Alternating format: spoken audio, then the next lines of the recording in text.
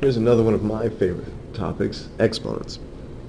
Uh, so we're going to go through these properties of exponents that we should already know from 0308, and we're reinforced in 0310. In number one, you are multiplying and you have the same base, which is x. Remember that when you multiply and you have the same base, all you need to do is add the exponents. Basically, you're adding the factors. So, how many factors of x do I have? Well, you have 8 here, plus 7 more there, plus 11 here. So altogether, this is x to the 26th.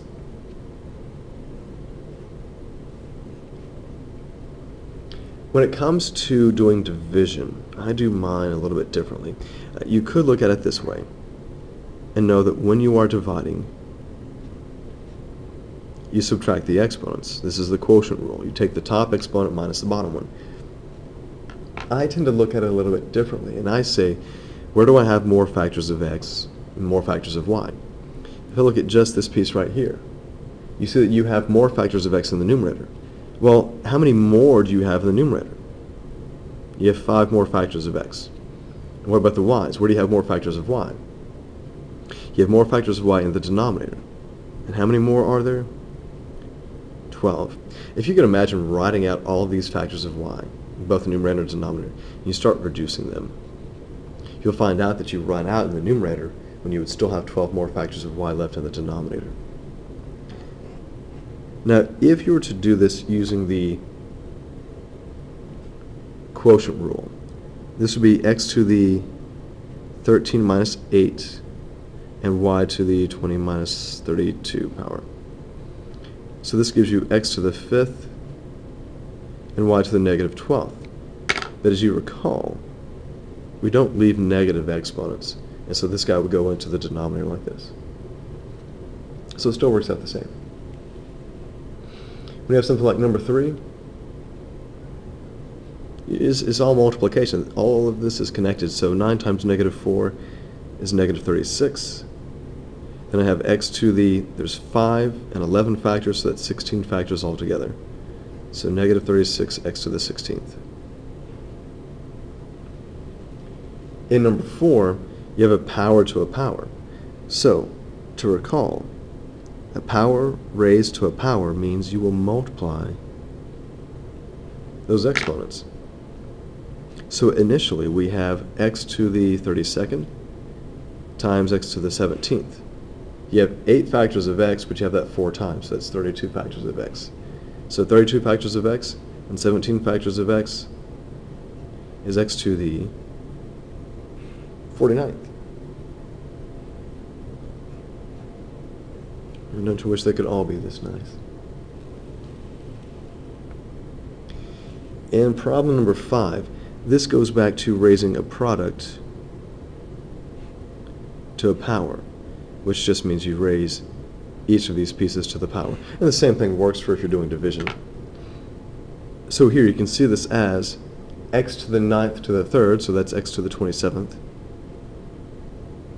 Then you have a to the 12th and c to the 33rd. You don't have any negative exponents, so this guy is done. Just make sure that you know your multiplication tables, you take your time, watch your signs. It's really easy to make careless mistakes here. Now to number six. In number six, we recognize that this is just an exercise in multiplication. We've already done factoring as a review, so this should be nice and easy for us. Just distribute and be very careful. So 3 times 8 is 24. X to the 10th and x to the 14th, you're going to add those powers. You get x to the 24th. 3 times 15 is 45. Add the powers and you get x to the 15th. 3 times negative 9 is negative 27. You have 10 factors of x. You have one more factor of x, so that is x to the 11th.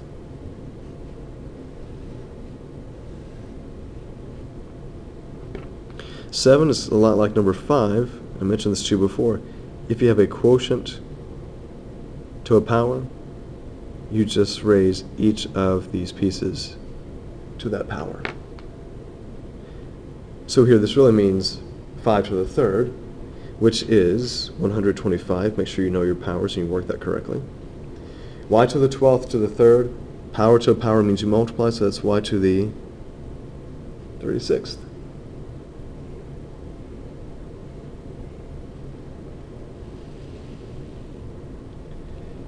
Look at 8, notice that on 8 you have a negative exponent. And really the easiest way to take care of this is to know that a negative exponent means you're doing the reciprocal. So I would burn the negative right here and make this to be 7 over 12 now to the positive second power. When I do that, my problem is a lot easier. I use the negative to make it the reciprocal of the inside, so 7 over 12, and then I just square each of these. So that's 49 and 144. A lot easier and faster than the alternative, which I'm not going to show you. You don't want to see it. Trust me. And number nine, this is a problem that messes up a lot of students. Notice that you don't have three pieces here. You actually have four. You have two. You've got x, the y, and the a. So you have to raise 2 to the fourth power x to the negative fourth to the fourth becomes x to the negative 16th. This is y to the negative 36th. And a to the positive 20th. So we have negative exponents here that need to be dealt with, so they're just going to go in the denominator. So we have x to the positive 16th, y to the positive 36th in the denominator. But you got to work this out. You can't leave 2 to the 4th as it is. When you raise that power, you get 16. And then there's a to the 20th. Make sure that you leave your answers with positive exponents. You can have negative numbers as long as it's not an exponent. Uh, finally, here, number 10. You've got a lot of weird things going on here. You have some negative exponents that you need to take care of. So this guy needs to move into the denominator this y to the negative third needs to go to the numerator. Now when I rewrite this, watch what happens. This is still y to the 15th, a to the 11th, the positive exponents didn't move. I have a, or excuse me, x to the 6th and a to the 4th. Those guys didn't move. What moved was this guy. He moves into the denominator and becomes x to the 6th. y to the negative third moves into the numerator to become y to the positive third. Everything here is still connected through multiplication just like it was in the original problem. But the reason I do it this way is because it's very easy for me to see how everything simplifies.